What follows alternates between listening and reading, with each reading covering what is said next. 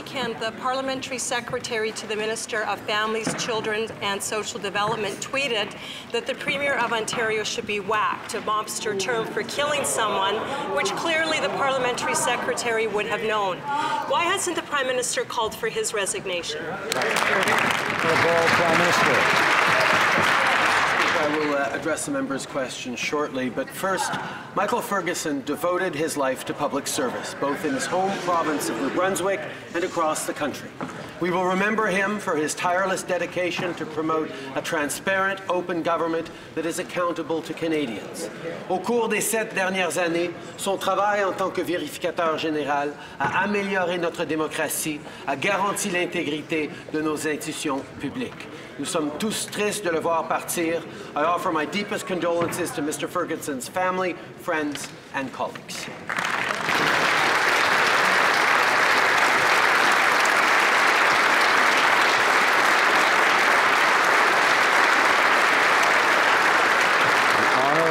Opposition House Leader. Thank you, Mr. Speaker. And while we all very much appreciate the Prime Minister's words, there is an opportunity for ministerial statements later on today, and I look forward to hearing the statement at that time. I think this is an issue, Mr. Speaker, the Prime Minister needs to take very seriously. This parliamentary secretary has shown this kind of behavior before when he had to apologize for trying to bully and intimidate a female Conservative MP, the member from Richmond Centre. The Prime Minister says he has no tolerance for this kind of behavior, so again, why won't the Prime Minister ask for this parliamentary secretary's resignation. Honourable Prime Minister is well aware the member in question has apologized for his tweet. It is important that we have civil debate uh, in this House and elsewhere when we engage in matters of public disagreements over public policy. Opposition House Leader. Mr. Speaker, the tweet is still up.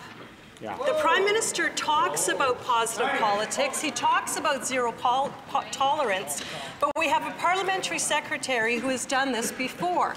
Now, Mr. Speaker, what kind of example does the parliamentary secretary to families, children, and social development set? And furthermore, what kind of example does the Prime Minister set by continuing to tolerate this type of behavior from that parliamentary